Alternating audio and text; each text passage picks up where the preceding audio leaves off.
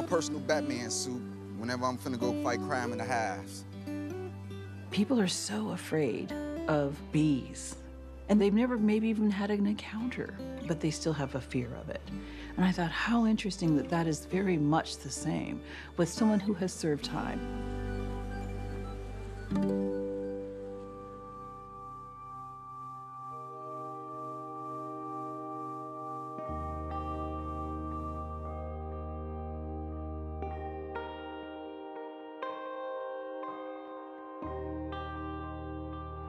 Buddy. How you doing? Everywhere I went, I filled out a job application and no one ever called me back.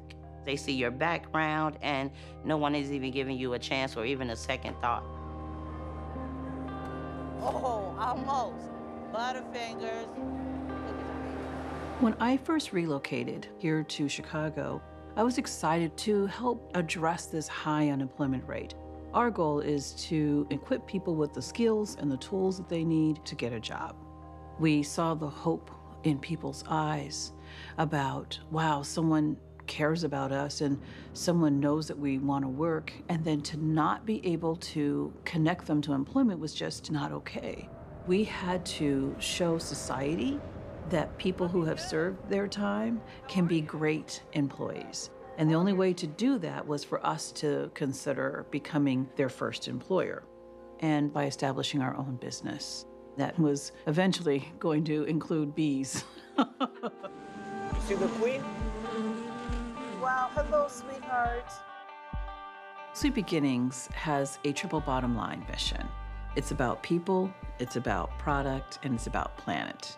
We want to make sure that we are hiring men and women who need second chances. We believe that people can transform their lives. Every jar has a story of the person who helped, you know, put this little jar together. My environment and the way I grew up does not dictate my, my future. It's a blessing, man. They saw something in us. I never thought in a thousand years I'd be bee farming for real.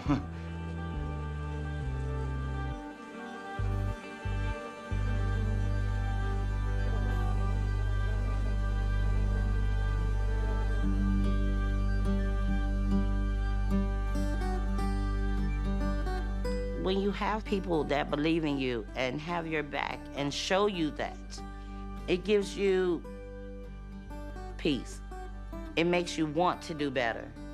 I think that it is about rethinking the narrative, and I'm excited about being part of a movement that's about the restoration of individuals who have served time, the restoration of a community, and the restoration, really, of these beautiful honeybees.